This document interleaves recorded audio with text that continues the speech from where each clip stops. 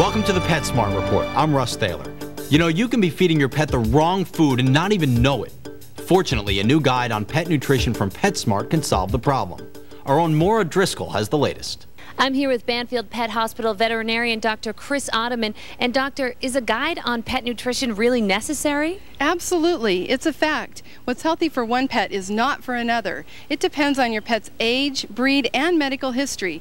These are just a few of the questions you'll need to answer, and the PetSmart Nutrition Guide will tell you how.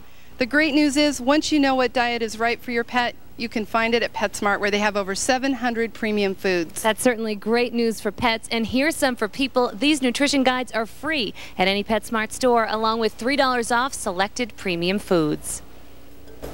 On our next edition, preventing the most common problems your pets have.